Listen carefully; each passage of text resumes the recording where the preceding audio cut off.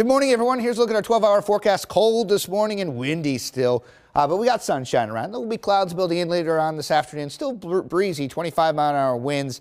Uh, temperatures at 37. That makes it feel colder in the upper 20s, but you can see at 22 mile an hour winds around 2 o'clock in the afternoon. All right.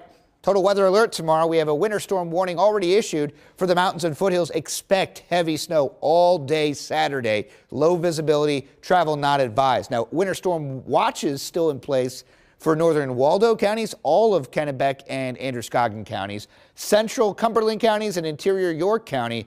That could have the potential of heavy snow. You're still getting snow, but the question is will you get on that higher end that will make travel not advised?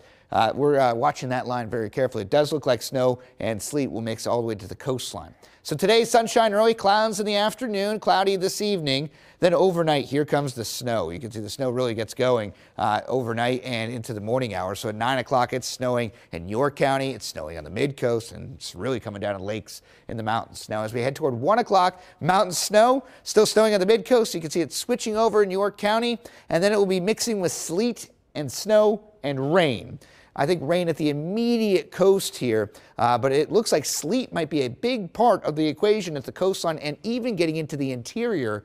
And whenever you get sleet involved, it lowers snow amounts down because it just doesn't add up. It's very uh, dense and compact, and uh, that will not add up. But it's going to be not sleet in the mountains, and it's going to continue to heavy snow all the way through 2 a.m. on Sunday morning.